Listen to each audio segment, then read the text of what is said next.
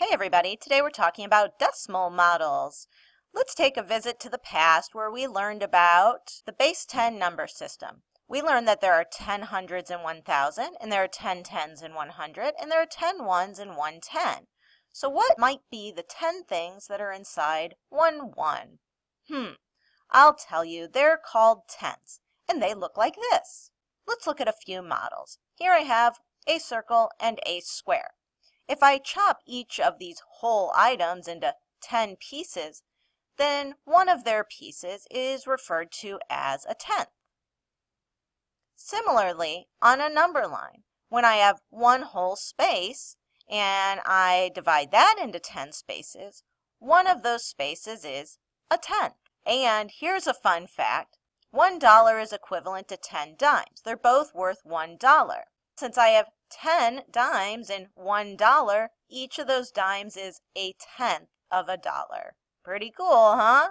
Now that you know there are 10 tenths in 1 1, you probably want to know 10 of what are in 1 tenth.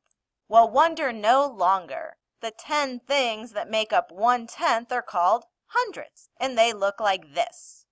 So back to our square, that I chopped into 10 pieces and told you that one of those pieces is a tenth, well, if I take each of those tenths and chop them into 10 pieces, one of my pieces is a hundredth.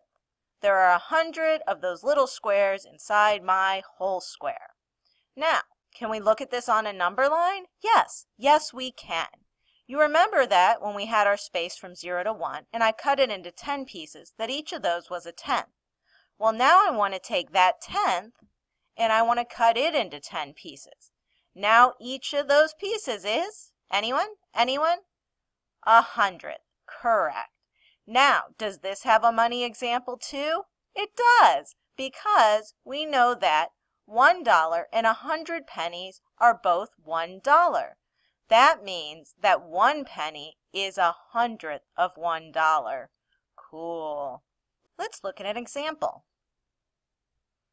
Here we have different amounts of money, and we want to know in which amount is the 6 in the hundredths place. Okay, so let's look at this first option. I have $6, so that's my whole number.